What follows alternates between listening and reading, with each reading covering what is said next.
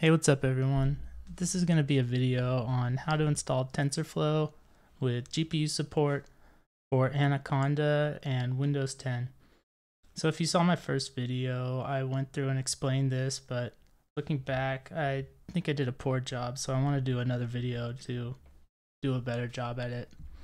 So what TensorFlow is, is a machine learning slash deep learning library for Python which is probably one of the best, most supported, most popular ones.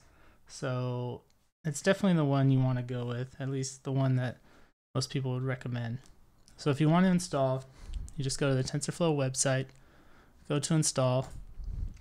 You'll pick your platform. So I'm on Windows, so I'll show you how to do for Windows. So select Windows. So there's two versions of TensorFlow there's the CPU version and the GPU version. And the CPU version um, is easier to install, but the GPU version is the faster, better version. So if you just want to play around with TensorFlow, then go for the CPU version. But if you want to do some real computing and not have your training, your model training take days, then go with the GPU version. So the install for GPU is a little bit longer. And the first prereq is you're going to need an NVIDIA GPU and you're going to need one with CUDA and a compute capability of 3.0 or higher. So if you're not sure which ones qualify, you can go to the link right here and you can see. And I'd recommend choosing one with at least four gigabytes of VRAM or higher. Really, the more, the better. Uh, mainly because if you can't, if you don't have enough VRAM to load your training data into it, your model's just not going to run. So it's best to, it's best to go with more. Um, so yeah, like I said, four gig, four gigabytes or more is, is better. So the first thing to do really, it's not listed here, but if you don't have um, Microsoft Visual Studios installed, you'll need to install that. So you can go to, oops, you can just Google uh, Visual Studios and it'll bring you here. So you'll just want to select to download, excuse me, the Community 2017 edition.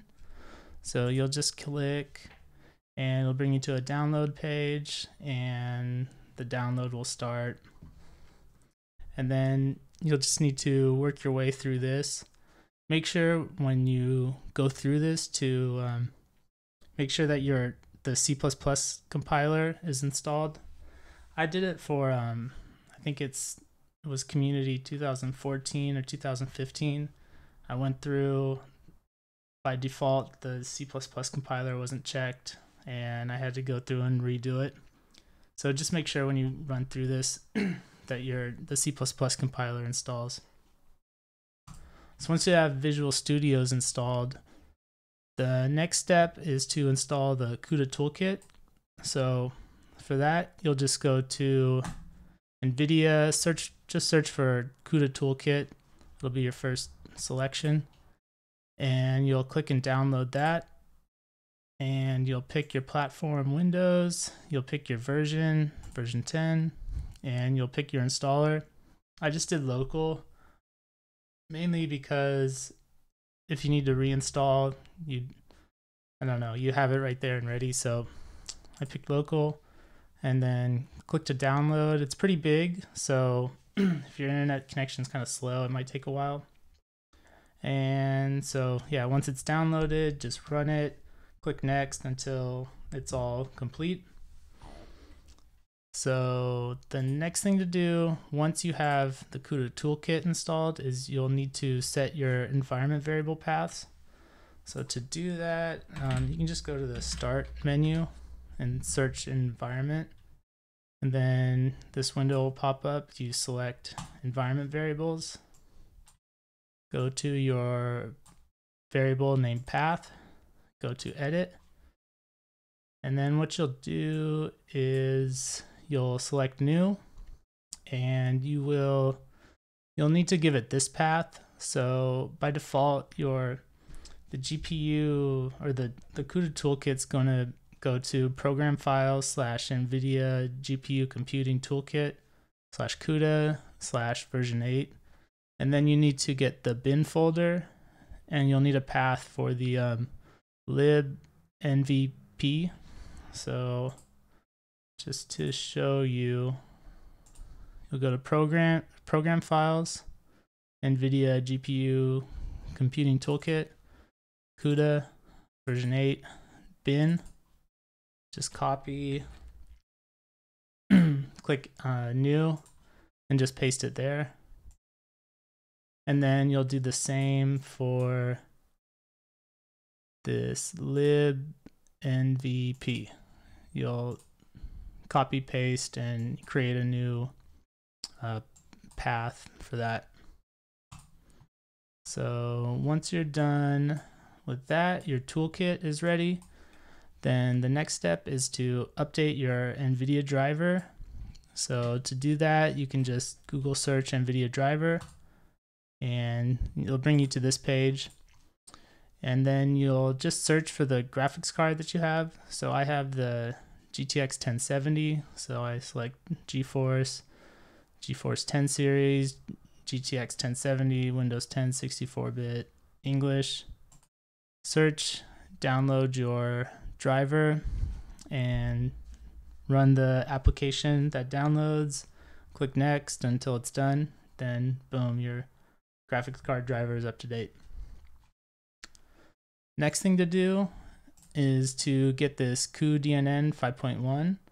So this is another file that's for deep learning. It's a like deep neural the DNN is deep neural network. So it's for it's libraries with tools based around based around that. So again, you'll just you'll search for cuDNN. It'll bring you to NVIDIA. You'll click download. For this one, for some reason, you need to have an NVIDIA profile. So just give it an email and a password to create a profile. Then click download. It'll ask you for some agreement. And then you need to select the version 5.1 for CUDA 8. So you'll just come down, find the cuDNN version 5.1 for Windows 10, click it, it'll download. So while that's downloading, you also need to, this isn't like an installer like the CUDA toolkit is, so it's just a folder with a few DLL files and some other files. So what you need to do is well, let's open it. It's a zip file. And we need to place this CUDA folder somewhere. And then we also need to create an, an environment variable for the path to it.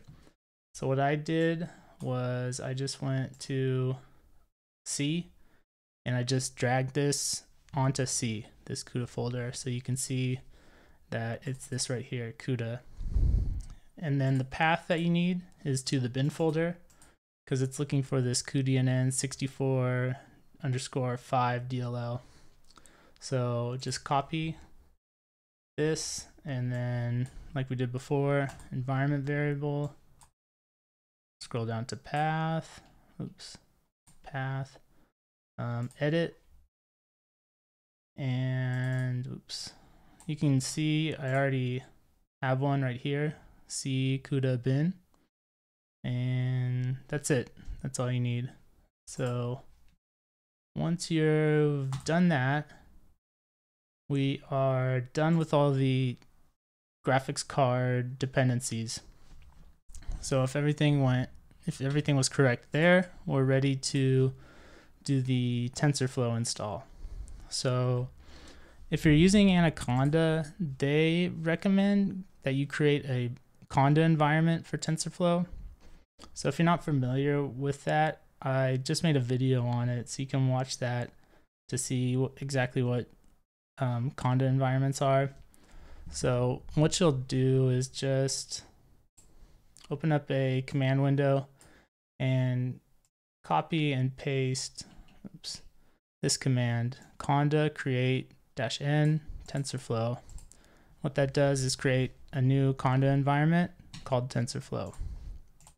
So once you do that, you should be able to activate Tensor TensorFlow, and then you'll know that it's activated because it'll say TensorFlow right before this path deal. And now we're ready to do the pip install. So come down to the GPU version of TensorFlow and copy this whole thing right here. Paste. And then run it.